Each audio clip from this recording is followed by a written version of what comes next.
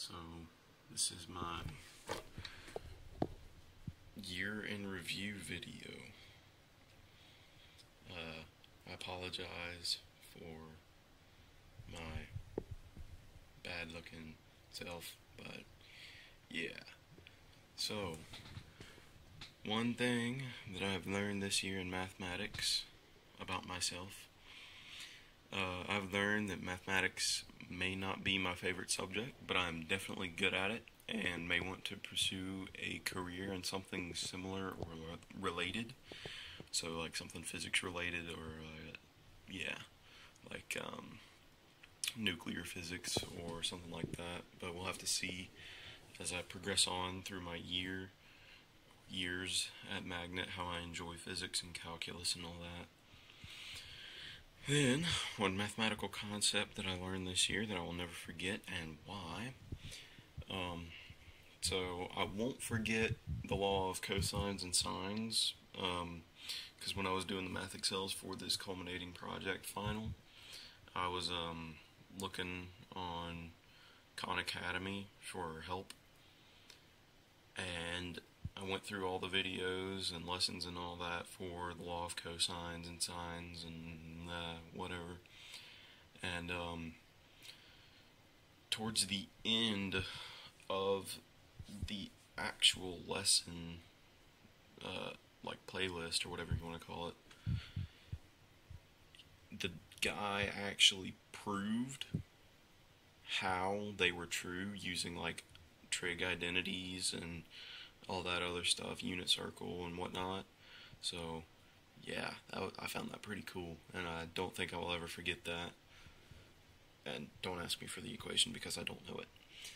Um, and then topics that I like and don't like.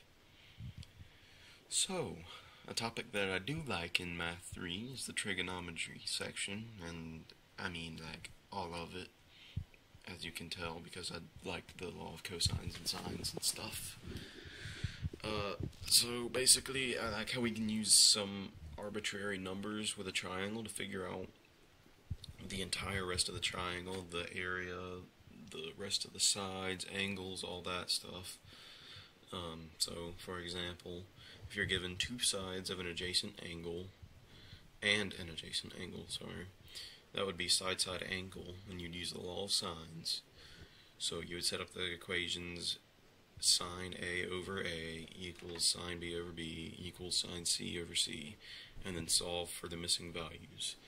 So basically, like if you're given 37 degrees for A and its adj or its corresponding side is like three units, so you do sine 37 over 3 and then for uh, if you're trying to figure out another length of an angle you do sine.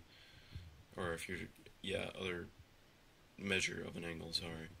Then you would do sine whatever the side length maybe say 5 uh, over b or c. And then you would solve the equation.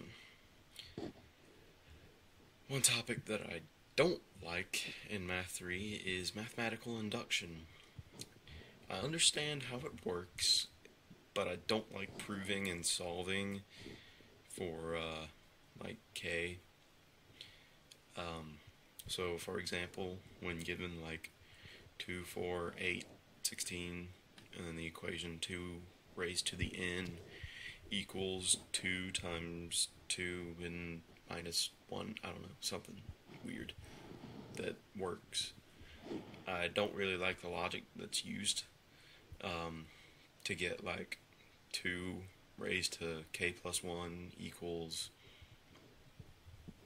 whatever, and then using prior knowledge like factoring and GCF and stuff. That that just it kind of bugs me how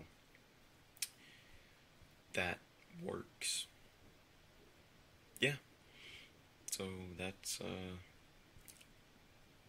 that's my video.